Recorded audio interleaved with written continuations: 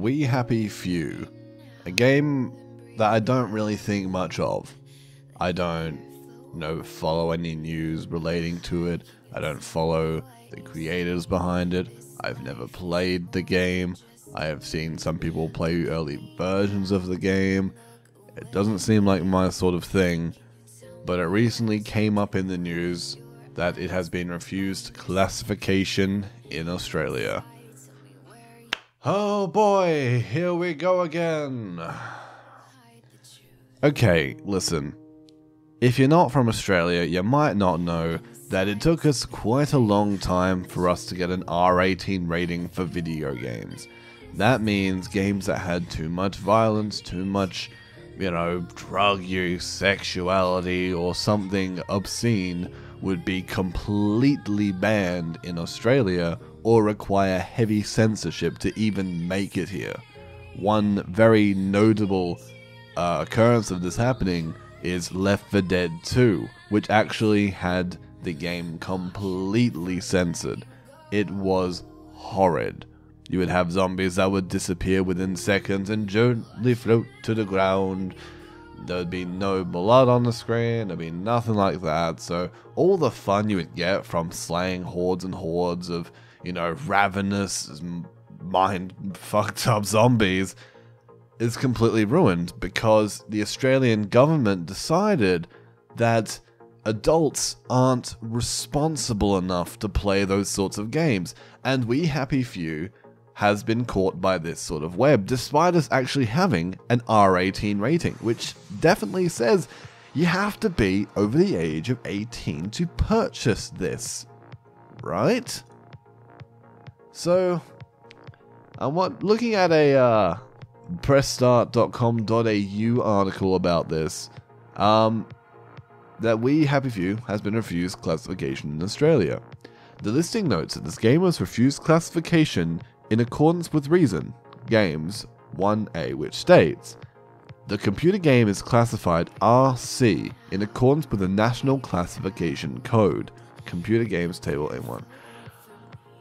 As computer games that depict, express, or otherwise deal with matters of sex, drug misuse or addiction, crime, cruelty, violence, or revolting or aberrant phenomena in such a way that they offend against the standards of morality, decency, propriety, generally accepted by reasonable adults to the extent they should not be classified. So essentially, they're basically saying adults are too delicate to handle any sort of matters of sex, drug misuse, addiction, crime, cruelty, violence, despite most of us experiencing one or more of these things before we even hit the age of 18. It's it's just it's, it, it boggles my mind that essentially what they're saying is yes, we know you are currently 42, have three kids and a full time job, but you can't handle what sexuality is. It's it's insanity. So, it's now been completely banned from Australia, and they most likely have to go back and change a few things because apparently Australia's too delicate. You know, despite us, you know, being adults, we can't handle matters of sex, drug misuse, addiction, crime, cruelty, or violence. We we simply can't handle it at all. Meanwhile, games like Grand Theft Auto and Far Cry 5 have made it through practically unscathed, despite the main focus of those games being, you know, to be an absolute fucking criminal. In GTA 5, you have missions that reward you for being as violent and destructive as you can be. In this game, you're a character who's actually fighting against the government regime of drug abuse. You're fighting against the government giving people happy pills just to stay happy. And that's been banned in Australia. Fighting against it. It's almost as if there was a game based on a drug task force that took out drug dealers being banned because it involves the word drugs.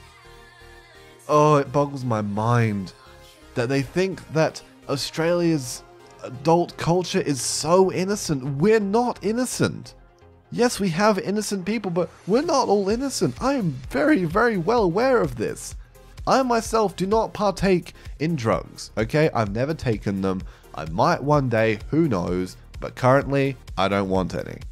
However, I know people that do take drugs, and they're good friends of mine.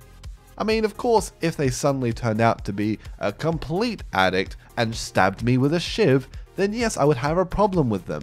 But as it turns out, they can still be decent people despite there being drugs in the mix. Why?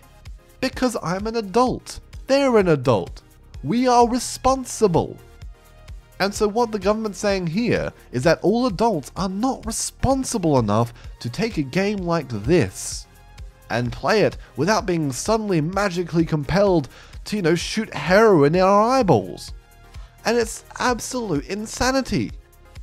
The board is basically comprised of people above the age of 60 thinking that Pong was a bit too lewd.